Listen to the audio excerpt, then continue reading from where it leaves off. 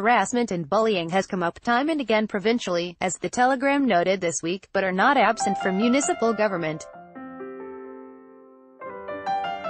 There have been cases involving public disputes and resignations, centered on allegations of bullying and harassment in municipalities. It's something Count. Mike Goosney said has been lost at times in the public discussions around recent events in the legislature and any new policies for that workplace. Goosney ran against Premier Dwight Ball in the last election, as the NDP candidate in Humber Gros Morne, but is now a Deer Lake councillor. In response to questions from the Telegram, he suggested now is the perfect time for increased attention to municipal-level harassment and bullying concerns, even as it is considered at the House of Assembly. Goosney said this province has a small population and is a small community, and he has found political debates generally have a tendency to get very personal, very fast. People make it personal and I think that's where we falter, he said. Related story, Will Time's Up change Newfoundland and Labrador politics?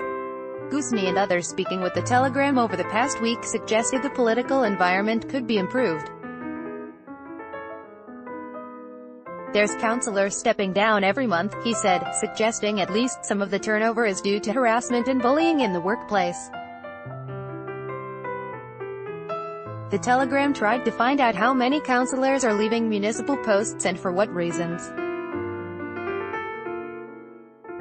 Elections NL does not cover municipalities. The provincial department responsible for municipalities does not track by-election numbers or why by-elections are held, and municipalities Newfoundland and Labrador MNL doesn't either.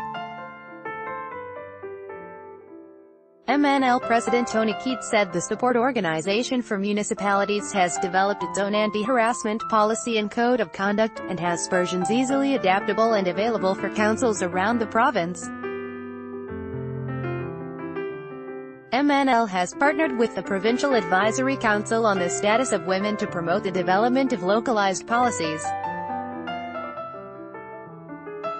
Keats said his personal hope is that new provincial legislation governing municipalities will include a nod to the issue, including a requirement for municipalities to have written anti-harassment policies and codes of conduct to address what is within their control.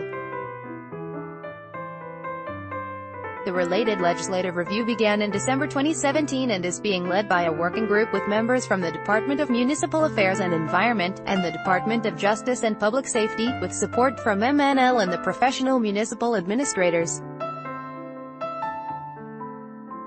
The working group is scheduled to make a final submission of findings and recommendations to Municipal Affairs this fall. Ashley.Fitzpatrick at thetelegram.com